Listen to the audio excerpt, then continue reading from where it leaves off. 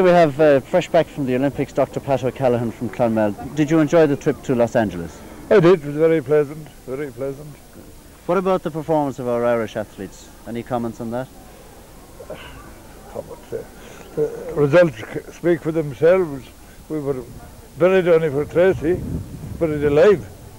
We would be resurrected, I'd say, for a long time. There were a couple of performances good, I think. I'd say that our best performance was almost young, young um, Sutcliffe boxing. Right. He, he carried the favourite and the eventual winner to the, to the, to the, to the last punch. Um, he- Right. He had him against the ropes in the finish. He fought every toe to toe with him. I thought he, I thought he should get a medal uh, from, from our own people. Right, yes.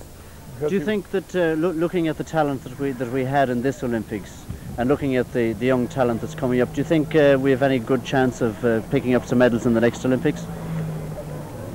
It depends what we do in the meantime.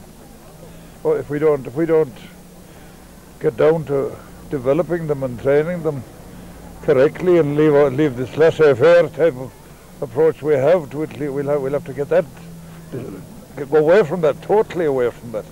Do you think more, resp- more responsibility rests with the government? They have a minister for sport. we're always talking about governments, governments, governments. The minister we have is good. Everything we want is go to the government. What the hell they can? They, they neither they don't either, either want to do it or, or, or they won't do it. It's not been done anyway. We're hearing that for half a century. So you feel the initiative is with, with it the should be with the local, local, local areas.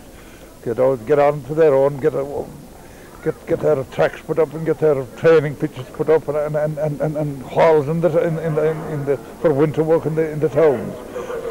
It doesn't cost all that kind of money at all. I mean, if you have local effort, you, uh, they can do it very cheaply and quite adequate, I- in my opinion. If they did it. Okay, thank you very much, Dr. Okay. O'Callaghan.